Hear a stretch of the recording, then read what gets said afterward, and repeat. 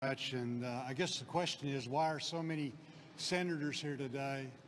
And it's because people are seeing their bills pile up. Everybody in this room can relate to that.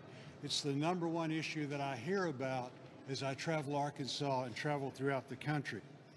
As ranking member on the Ag Committee, I see the President's plan squeezing ag communities, the ag community in the sense of our foresters, our farmers, our ranchers, all of those individuals uh, as, their, as their operations require more and more capital, thus attacking rural America. I don't have the big chart, but I've got a little one that I think that tells a lot.